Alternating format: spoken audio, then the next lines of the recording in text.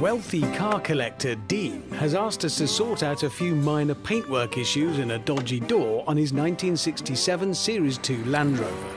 If you look at the door here, the distance from there to there is the same. The distance from the bottom of there to there is the same. So the hinges on both sides are symmetrical, yet the door isn't. There's something fundamentally wrong with it all. Who knew such a simple car could be so bloody complicated?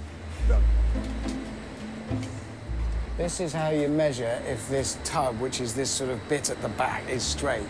So you put a piece of string across that corner to that corner and on that corner to that corner, and they of touch in the middle. If they don't, it's because it's twisted. See, it's not far out, but it is out. With this Land Rover, we want to do a good job because hopefully we'll get to do his Bentley R-Type, which we want to do. So we're trying to use a little bit of fishing line to land a trawler's worth of fish. We're hoping to catch a Moby Dick. Nothing is in the right place. You only need one bit out, and it just chases all the way along the car.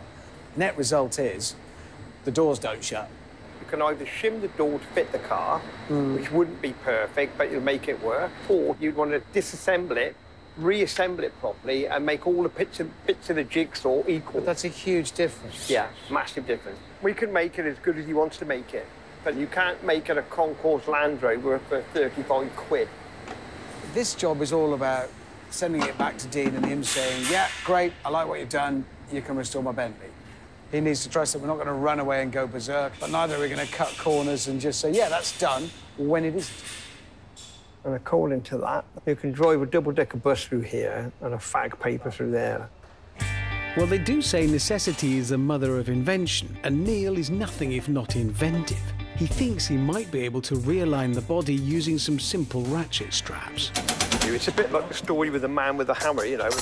You're paying for the knowledge, not the how long it takes. See, there we are, we've got that under tension. So what we'll have to do is slacken all the bolts off, and then this tub will be where it should be. These hinges are too low. So we'll elongate these holes eighth of an inch. It'll lift the door eighth of an inch, and we should better get it square so the door will open and shut like it should do. I've adjusted these as much as I can without going mad. We're going to drop the door back on, tighten the bolts up and see if it shuts. Now is the moment of truth. Perfect.